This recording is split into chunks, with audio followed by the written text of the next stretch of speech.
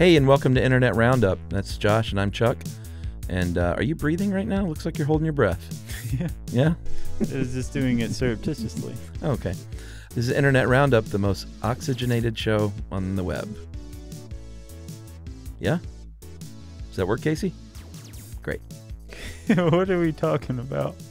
We this rounded. thing's off the rails already. It is. Casey is not uh, invisible. He's our video director who sits right there out of the corner of both of our eyes.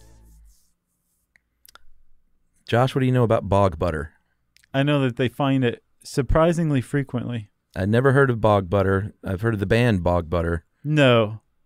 I'm just kidding. You know, Fishbone played across the street yesterday? What? Yeah, Are you serious? I'm dead serious. when I was pulling out of the parking lot, there was a guy on the corner with his trumpet. Was it from Fishbone, you think? Well, of course. Okay. I didn't know they were still together. Is it the same well, guys? Apparently they're touring again. It could be like the Four Tops or something, or the Temptations. There's been like 60 yeah. members, but probably not. It's probably the same They guy. used to be one of my bands. They played across the street last night. Holy and you cow. saw one of them playing the trumpet. Be happy for that. I am happy. Good. I wish I would have known. I would have gone. Yeah. I've seen them a bunch over the years. So, are we talking about Fishbone today for real? Hmm. We should talk about bog butter. Bog Butter, Neolithic bog butter. Even better band name actually. Mm-hmm. Uh, this prehistoric 10 kilogram lump was found by turf cutters. Is, is this Scotland or No, Ireland? County Meath is in Ireland. Ireland. Okay, I wasn't sure. He's really sorry, Ireland. Well, I'm so sorry. I really am. But I don't live there. I wasn't quite sure. No. Uh, and they found it and they gave it to the National Museum because apparently, even though it's not super rare, because they used to bury bog butter a lot Yeah. on purpose. Yeah, which I was like, okay, for what? Yeah, I don't get it. Well, they the bog would preserve it because it's anaerobic, right? Which is why they find such amazingly preserved uh, sacrificed bodies in the bogs. Oh, that makes sense. Um, and apparently the same thing, you can do, do, use the same process or lack of process to, to keep butter from going bad, from Huh. spoiling. If you have a 10 kilogram, 22 pound lump of butter, Yeah. you're not going to eat that in a day. Nah. Your whole village probably won't. So Yeah. you need to let it keep. So you you put it down there. But um, when they find bog butter wrapped in canvas or something like that, Right. Or animal skin. it indicates that they were saving it for later. Right. They didn't want it to get all gross. Sure. This apparently didn't have any wrapping, so they think it was actually a sacrifice. Oh, yeah. I, I saw that in here. Sacrifice to the gods for uh, renewed prosperity.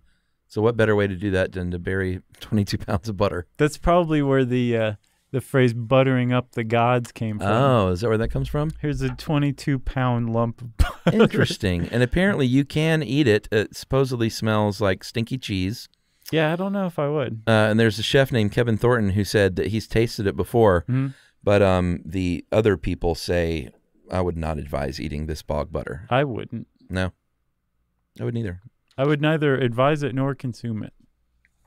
Little toast, bog butter. No. No. Okay.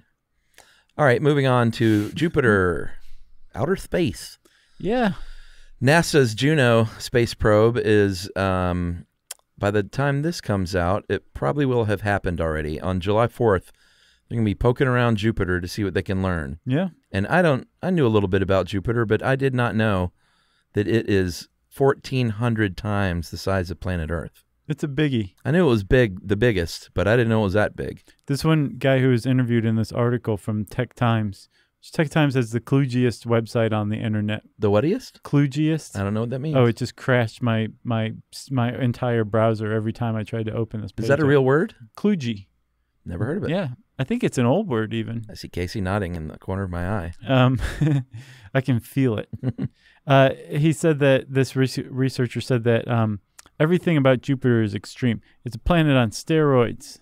Yeah, Should I get? I guess it gets it across. sure. I thought it was a good quote. Uh, it's a lot like the sun, uh, about the same composition, and they think that somewhere in Jupiter lies the recipe for our own solar system, and it's a crucial part of that recipe uh, because it's also made up of a lot of the stuff that makes up planet Earth.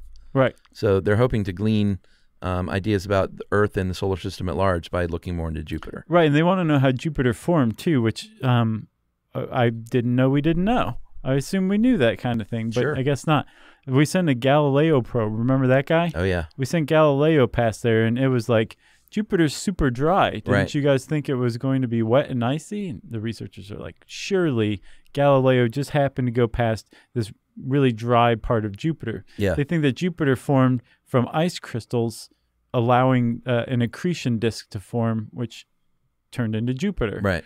But if there's not any kind of ice on the planet, and everybody has to go back to the drawing board because they got Jupiter's formation theories wrong. Oh, if there's no water. yeah, Yeah. No water, no ice. right. You know what they say. Yeah, Um, no smoke, no fire. Yeah, so it's kind of a big deal, and that's one of the big things that they're looking for is um, oxygen and, and water, and what the concentrations are. Yeah. So uh, pretty neat. We'll maybe we'll follow up on this Yeah, good luck, Juno. and see what they find out about Jupiter. Fourteen hundred times the size of Earth. 1400 or 14? Fourteen hundred. I thought you said 14. No, man. That's why I was relatively unimpressed. Fourteen hundred times. That's big. I mean, the Earth, it's it's decent size. It's no small planet. It's not a slouch. All right, that's been Internet Roundup for this week, we're and we're um, sorry. we're gonna go track down Fishbone and let you know how they are, and we'll see you next week in the studio.